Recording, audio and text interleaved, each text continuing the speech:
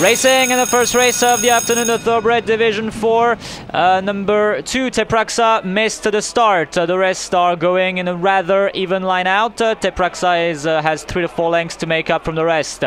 It is uh, number 3, Tongakara, who takes the lead, with number 5, Momentum, who will slide against Sorel, trying to take the lead. Behind those two is the favourite, number 4, Emma, the only mare of the race, with number 6, Pyongyang on the outside.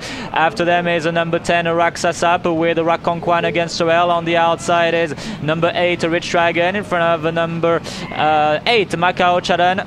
Tepraxa is now sliding against Sorel, going well.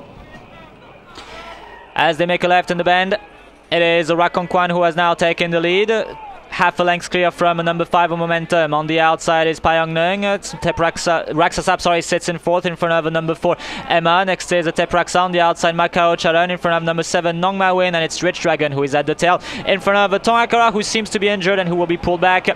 As they now enter the home stretch, it is Rak Kong Khwan who has taken the lead for jockey one Moncon. The jockey change is doing good things today. Rak Kong Khwan has taken it, but here comes Emma launched on the inside by Rongarun against Terrell. On the outside comes Momentum in front of number six, Pyong Nung. No opposition today for Rak Kong Khwan, who's going to go home with a turn. O'Reilly loves long distances and will win for jockey one. Moncon beats home Momentum in front of number six, Pyong Nung. Next is Emma in front of Raksasap. Then came Nong Ma Win in front of number eight, Macau Charan. Then was Tepraxa in front of Rich Dragon. I think number three, Tong Akara has pulled back lame.